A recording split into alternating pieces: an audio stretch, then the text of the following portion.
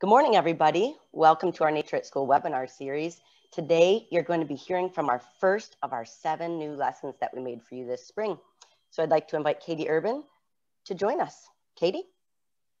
Hello, everybody. It's a beautiful day today at the park. Um, I'm all the way up in the Porcupine Mountains Wilderness State Park, and I want to talk to you about some of our wildlife in winter. I know some of you guys like wildlife at home. Give me a thumbs up or let me know at home if you do love wildlife just as much as I do.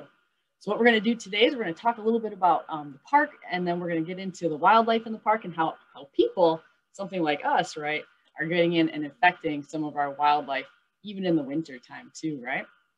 All right, so let's go ahead and take a look and we'll see some of the cool stuff we learn about the park. All right. So at home, you should be looking at my blue screen right now. You can see it's very cool. Uh, we're gonna be talking about wildlife in winter, right? Very good. So if you've never been here before, the Porcupine Mountains is a beautiful place, right? And all my photos are gonna be very winter themed because why not? It's beautiful, right? so you can see this is the Lake of the Clouds. It's a very popular spot in the park. Um, this beautiful ridge line here covered in snow. And then right down there you can see is the Lake of the Clouds. And all the inside of the park here is actually the different trees and the different areas. So as far as you can see here, all the way here to there, that's all Porcupine Mountains. It's a really big place.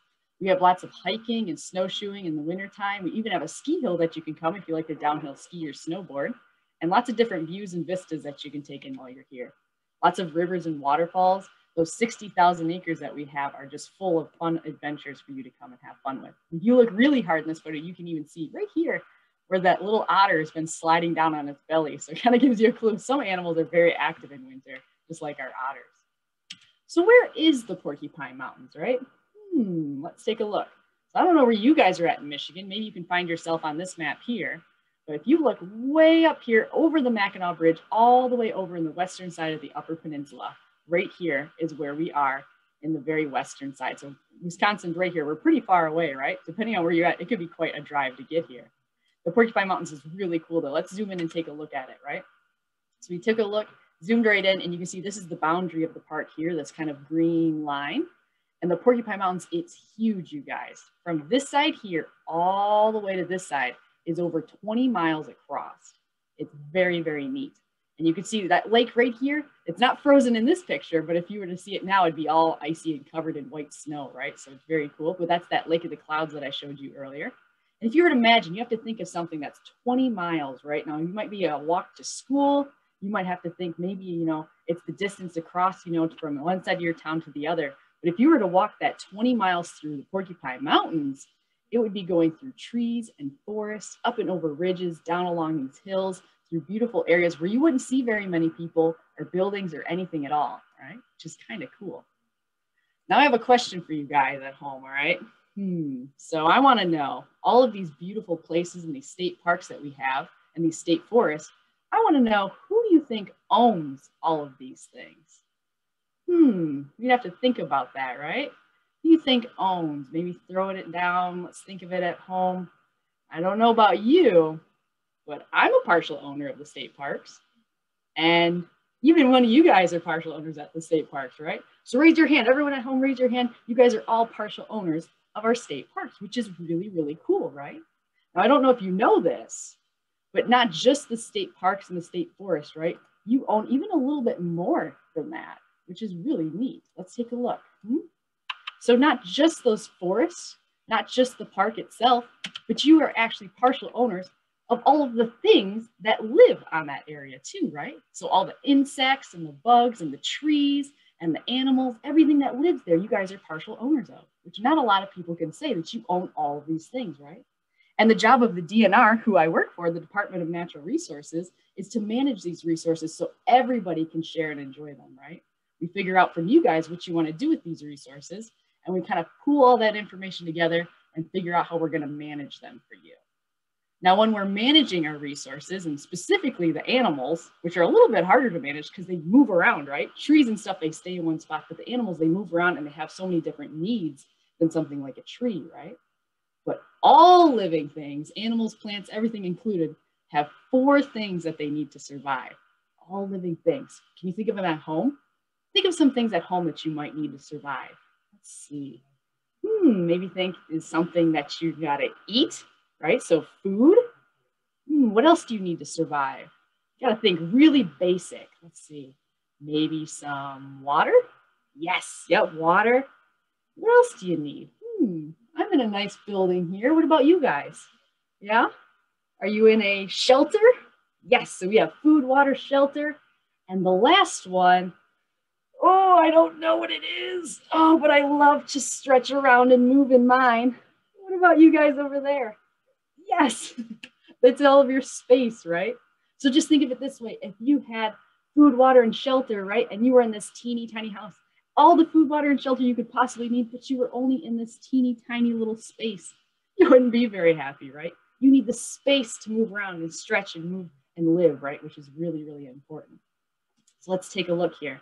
Food, water, shelter, space. There they are. Food, water, shelter, space. Very good. All right. So let's talk about one of our animals. Hmm. I'm going to show you an animal soon. Here, let me see if you can see my board here. And we're going to go over and talk about the specific needs for one of our animals in the park, a very cool animal that lives here. This is the skull of the animal that I wanted to talk about. Can you guys guess what this animal is? Hmm, yell it out loud if you think you know. Maybe give you some clues. He's got a really big nose that helps him sniff and smell. He's got large canines and flat grinding teeth that help him grind up all sorts of different plant material. He's got the large canines for hunting still. Hmm, which one of our animals is it? What do you think?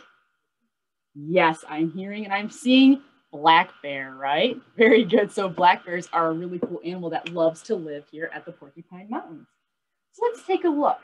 What kind of things does a black bear need to eat? The answer is they have lots and lots of different foods that they eat. So black bears can eat things like acorns and nuts. They're a really good source of food for them. They also love blueberries, right? Who else loves blueberries at home? It's one of my favorites. They also eat lots of different types of plants. So this is a dandelion, but they can eat all sorts of different grasses and sedges and things like that. Now, I don't know if you guys know this, but black bears love to eat insects, right? They're a great source of protein. Ew, I know it's not very tasty sounding, but there's lots and lots of them and they can find them, right? Now, lastly, black bears do eat meat, right? They're not the best hunters. They really don't want to hunt a whole lot a lot of times they're eating a lot of these other things just because it's a lot easier, right? They're kind of lazy, but that's okay. If they do happen to find something or they're really hungry, a lot of times they're eating dead animals. But if they happen to come across something that they could hunt, they could eat it. So it's a good source of protein, right? So lots and lots of different things that black bears like to eat, which is really cool. Now let's go on to water. Let's take a look. Let's see what kind of water a black bear could drink, right? He has like something like a pond that he can go and drink in he would be able to get in the water and find something like a nice cool river, nice fast flowing. Or, oops, I'm spinning around. They can find something like an lake, right? So either an inland lake or a Great Lake. Bonus points. I want to hear which one kind of which one of our Great Lakes is this Great Lake here. We'll talk about it here in a little second. Give you a chance to think it over. Hmm, which one is that? It might be superior to all the others. That's right. That's Lake Superior, you guys. So we have all these different sources of water that a bear can get water from. And also even get water from his food too, right? That's a good part. But if he needed a bigger source of water, he had all this source too. Let's talk about shelter for a bear. Let's see. It could be something as simple as trees for cover, right? Just to kind of get out of the wind or the sun, you know, get some shade, kind of hide a little bit. Or it could be something like a den, right? And I know what you guys are thinking bears in this big, giant, cavernous den, and they're all sleeping and snoring and drooling and spitting on each other. But most of the time, black bears, it can be just a simple dugout underneath of a log. And They just kind of like snug underneath of there. Not so big. They don't all sleep together unless it's a mother with cubs, right? Otherwise, they pretty much hang out by themselves. But they do make a den, right? Very cool. And lastly, the one that we had a little harder time with is space, right? So that kind of encompasses all of these things and for a black bear, that would be something like a forest, right? So all of these things kind of come together in a forest setting. So we have our trees, we have lots of food, a water source, lots and lots of different resources, right? Fantastic. Let's take a look here. I think that would be a very happy bear, right? He's got all the food, the water, shelter, and space he could ever hope for. And we have lots of that here at the Porcupine Mountains and probably even places near you too. You can probably think of a lot of these places that a bear would pretty be pretty happy with in your area too, right? Michigan has lots of black bears. But now, uh-oh, I'm thinking of something that happens every year that might mess up some of this stuff. What do you think it is? Hmm, I'm thinking of a season. It might be happening a little bit now. Maybe it's in the tail ends of it where you guys are at. But yes, I'm thinking of winter, right? Uh-oh, we've got a winter storm blowing in. Look at it snowing and it's cold and it's blowing around and it comes in and it sticks on here. Uh-oh. Do you think you're gonna have some of these things in the winter time? Hmm, let's take a look. At home, I want you to give me a thumbs up if you think you've seen some of these things in winter. And I want you to give me a thumbs down if you're like, nope, in the wintertime, those are gone, right? Let's take a look. What about acorns? You guys see a lot of acorns in winter? Maybe a few, but not enough for a bear, right? How about something like dandelions and plants? A lot of those? Oh, no, I don't think so either. Blueberries? You guys go blueberry picking in the winter? No, didn't think so. What about the insects? They're kind of hard to find too, right? Might be buried under some snow.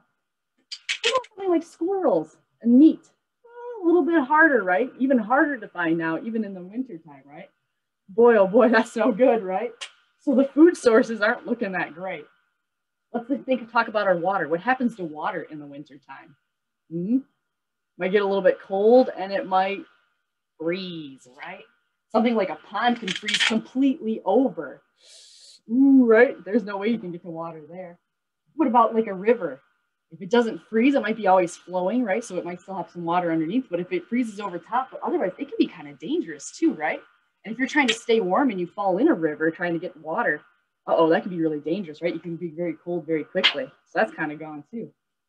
Let's see, thumbs up or thumbs down. Lake Superior or any of our other lakes, our Great Lakes or inland lakes, they can get to it, but it can be kind of hard, right? I have to walk a little ways and can be dangerous again too. So our inland lakes our Great Lakes, those are kind of gone too, right? Oh man. So what do we have left? We have our food and our water's gone. So that just leaves shelter and space, right? Hmm. Well, what do our bears do in winter? What's left over is shelter, right? They go into a den and they do what? Let me hear it at home. What do they do? I think you all know. Where they sleep for a long time? Yes, they hibernate. So our bears get out and they get into the winter time and they hibernate. Mostly because what a lot of our animals that are forced to hibernate do or forced to migrate, we'll talk about that next, is that they're lacking of food, water, shelter, or space, or all combination of those items, right? Because the snow makes it harder to either get the food and the water or the cold temperatures, right? It's very cold outside, force them to go in and find shelter and be in shelter for a long time, right? Can you imagine if I just picked you up out of your seat and threw you outside right now in the winter? you would have to prepare yourself, right? And that's what a lot of these animals do. Very good, you guys. So we learned a lot about the black bear. Let's talk about some other wildlife. Oh, but first I want to talk about snow, right? So some places we get lots of snow and some places we don't get as much snow, right?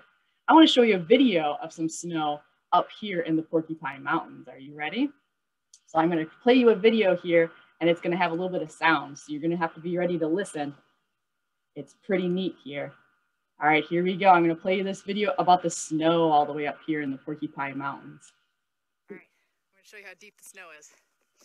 I'm off the trail a little ways, kind of hiked off a little bit in the woods, and I'll give you an idea here. I'm gonna jump off my snowshoes when I'm standing on now into, I'm not sure how deep this is, but we'll find out.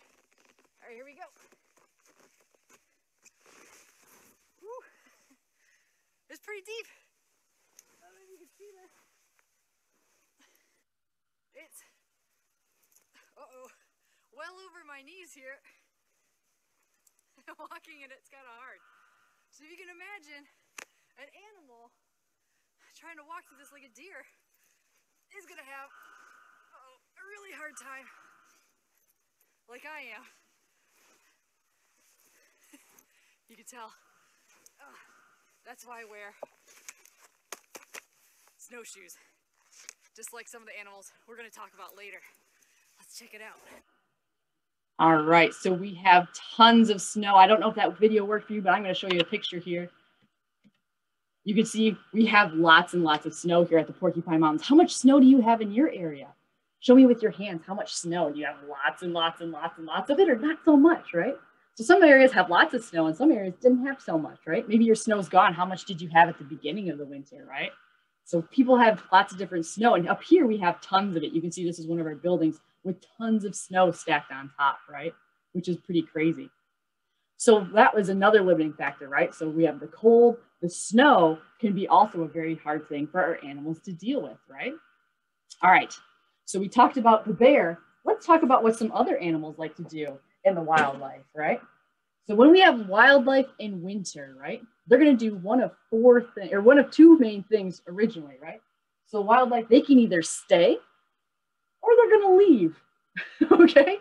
Now, if you were a wildlife and you had to live all your life outside and you had to handle winter, what one would you do? Would you want to stick around in the winter? Do you like it? Or would you be like, nope, I'm leaving. I don't want to stay in outside in the winter all day, right? Which one would you be at home? Yeah, I think me too, right? Staying or leaving. So let's talk about the animals that leave first, right? So let's talk about them. When we call an animal that leaves and is to leave every single year at a seasonal time that they leave and migrate from one area to another, right? We call that migration. They're moving from area to area. When I talk about an animal that leaves in the winter, what's one of the first animals you think of? Hmm? They're usually the first ones out of here saying, no way, I'm gone. That's right. Yep, I'm thinking of birds. Very good. Now I'm going to test your skills of identifying some birds at home. We're going to play a little bit of a game. Are you ready? All right, so what I'm going to do is I'm going to show you a pictures of different birds on it. And we're going to go through each one. And then while you're at home, I want you to either flap your wings if you think that bird's flying away and not going to be in Michigan anymore, or I want you to shiver if you think that bird's going to stay here and live here even in the winter time. All right, let's take a look. So you should be looking at my screen now of all these different really cool birds and we'll go through each one.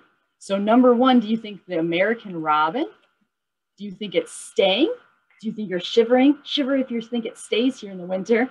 Or flap your wings if you think it flies away. Have you ever seen one of these before in the winter? That's right. I see lots of flapping. You can see the American robin, they love to eat something like worms, right? They're always hopping around in the grass eating worms. There's no worms in the winter, right? They got to fly somewhere where there's worms. Very good.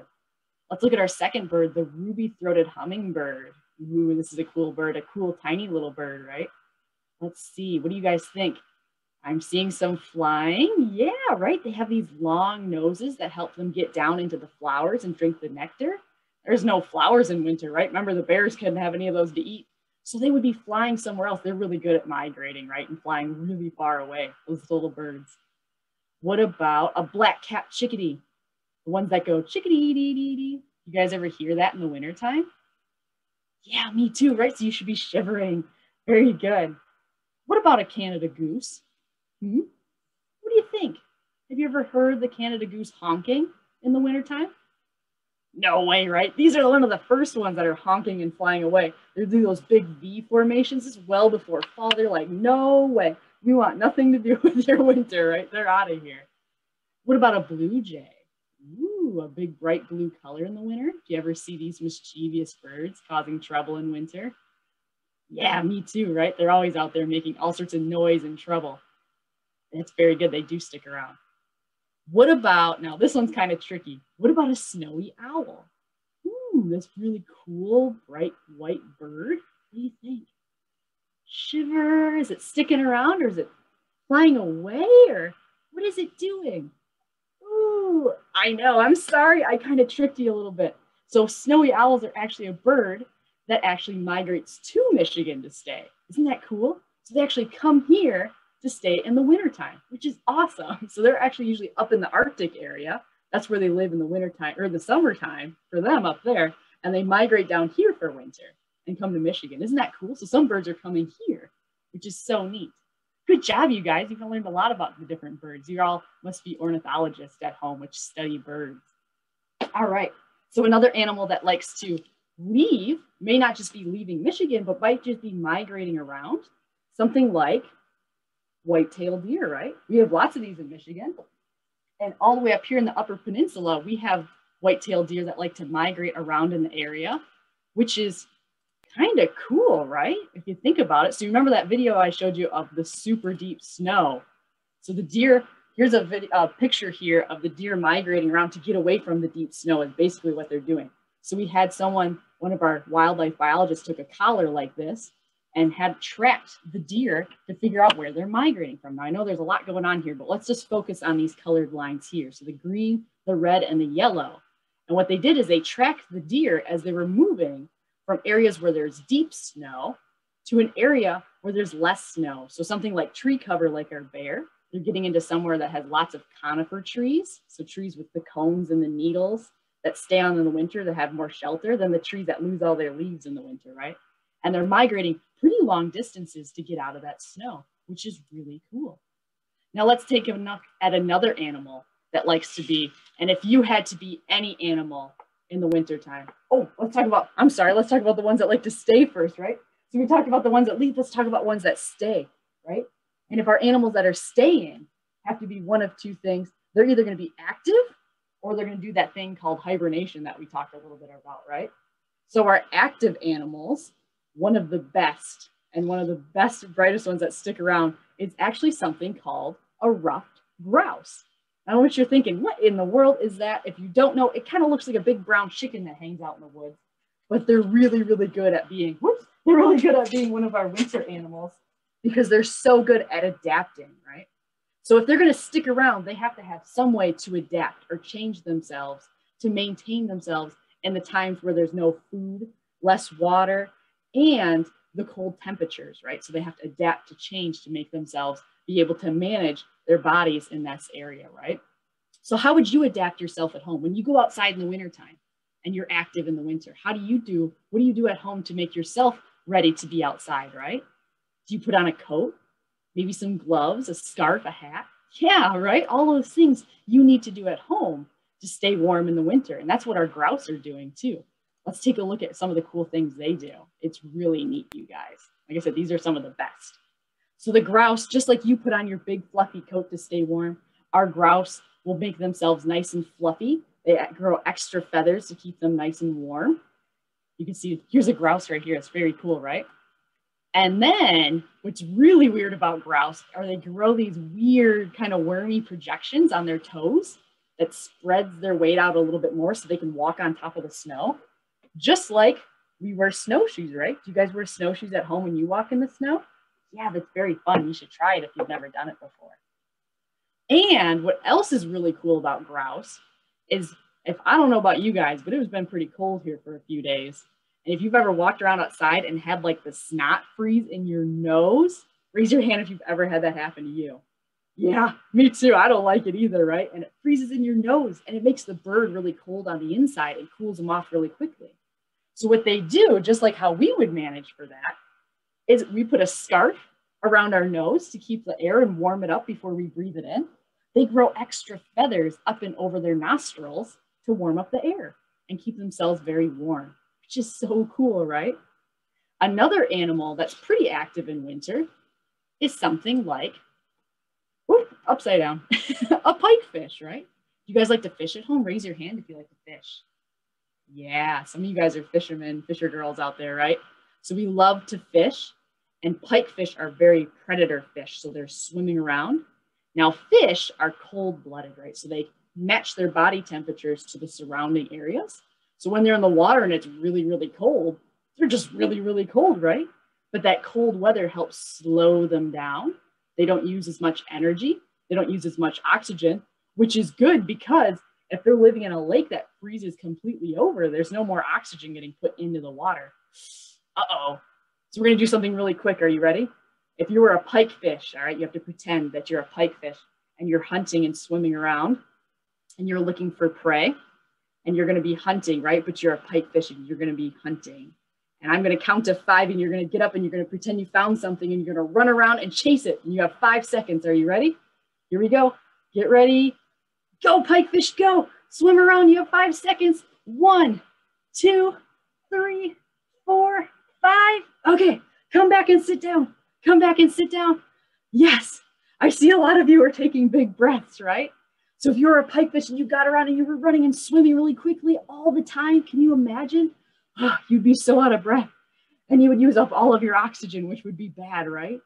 So you want to move nice and slow and save your energy and your oxygen because sometimes that's the limiting factor.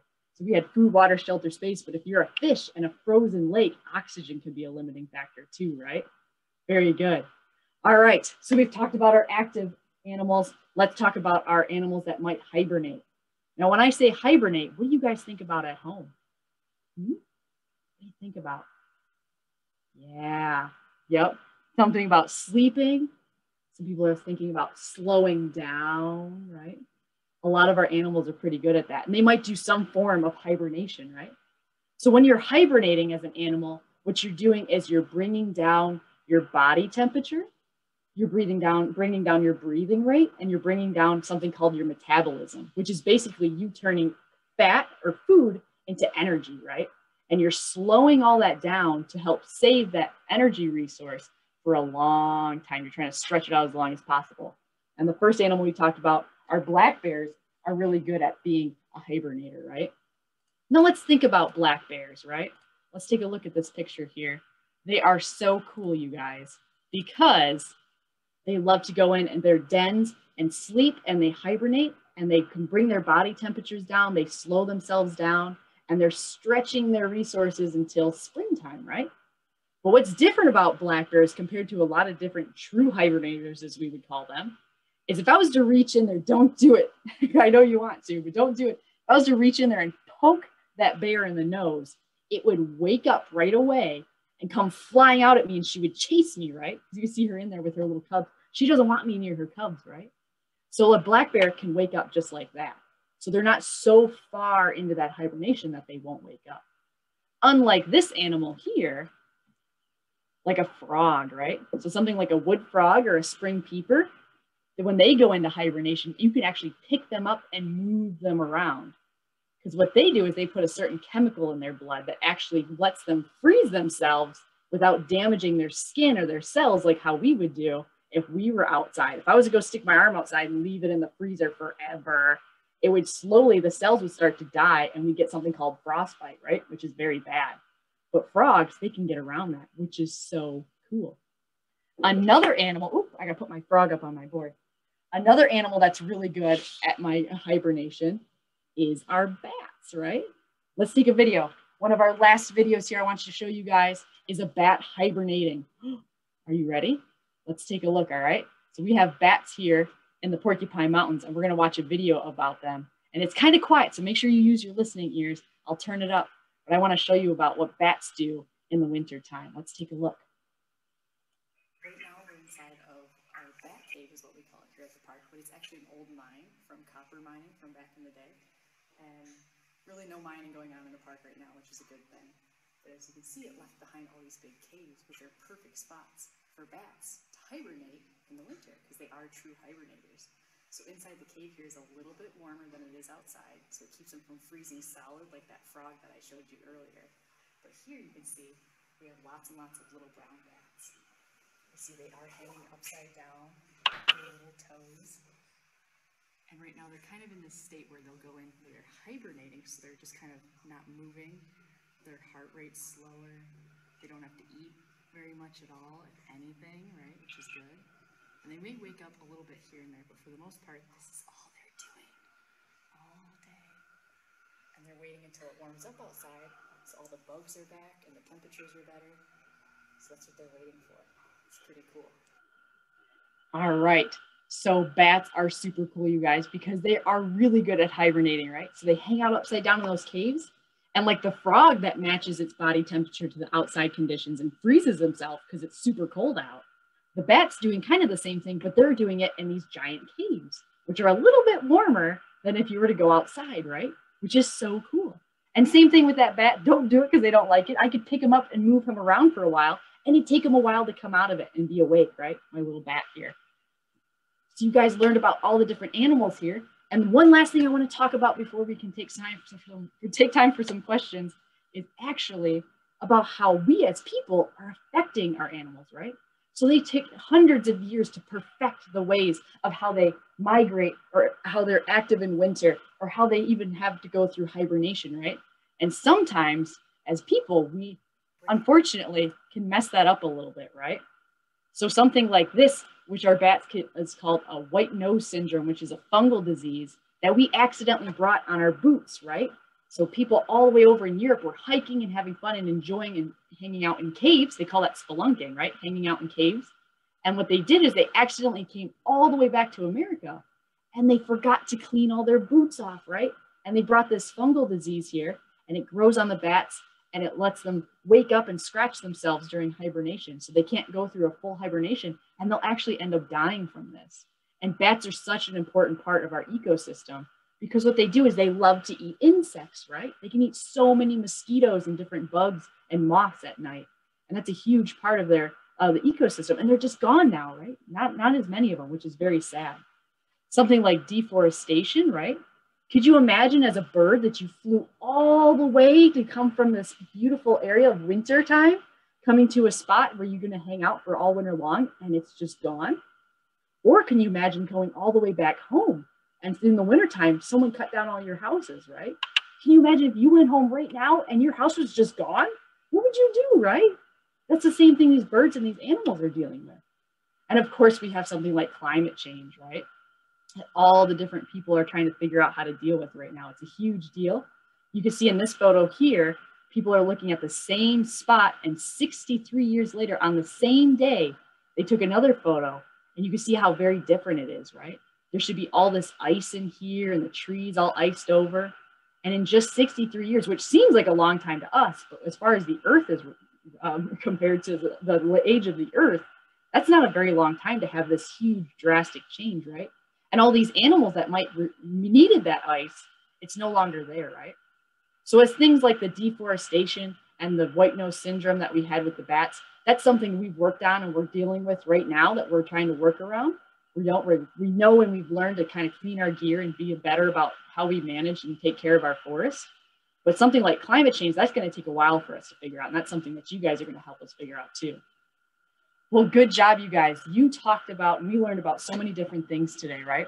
We talked about how people affect wildlife we talked about all the different michigan animals and how some of the different ones may leave or stay we talked about those four things that every living thing needs do you remember what they are hmm, I'm thinking food, water, shelter, and space, right? Very good. And we know that who owns all of our state parks is you guys and all the resources that are on it, including all of these animals and plants, right? Well, good job, you guys. If you have any questions, I think we have time for some questions today, Natalie. What do you think? Hi, Katie. That was awesome. I loved learning about wildlife in winter, slumber, and survival. We have three questions today that came up. The first one is, do all black bears need to hibernate, like even if they're in zoos? Do all black bears need to hibernate? So no, in fact, if the say if you're in an area where the winter isn't too bad at all, or if you're in a zoo where the winter, or you're just kind of in an area in a zoo where it's not like that cold winter temperatures, um, as long as they have, remember, food, water, shelter, and space, they should be fine. You know, they can be around and active even in the wintertime. They don't need to hibernate. They may feel kind of weird at times or kind of like a little bit sleepy or a little more sluggish because they kind of know something's not right. But for the most part, no, they can be pretty active even in the wintertime too. Even in Michigan, kind of down where there's not as much snow, right? I think that's a neat thing to learn. I did not know that. uh, second one, what do insects do in the winter? Ooh, what do the insects do in the wintertime? So some of the insects actually need the cold in the winter to do different types of metamorphosis, right? So think of like a butterfly turning from a caterpillar into a beautiful butterfly, right? So something like a lot of our different moths that live here, the moths, right? So they have big feathery antennas, big fuzzy bodies. Have you ever seen one of those before? They like to go into a cocoon and some of them need that cold air and temperatures to actually help them change. So some of them need the cold air while other ones just kind of do this weird thing where they just kind of pause, right? So I have an insect here in my hand. This is a Belostomatidae. It's an aquatic insect, very cool insect. And a lot of our bugs just do this thing where they just kind of freeze and they just don't move. So they'll go kind of find somewhere where they can kind of get down and be out of the snow and the, the very uh, severe elements. And they just kind of pause and we call it diapause. So it's basically someone just went boop and hit pause, just like if you're watching a movie and they're just waiting. Sometimes they might be unfortunate and something might dig them up and find them. what? You know, they're waiting for the warm temperatures. And you ever go on a day where it's really warm outside when you're outside and it's actually snow still around, you might see bugs kind of hopping and flying around.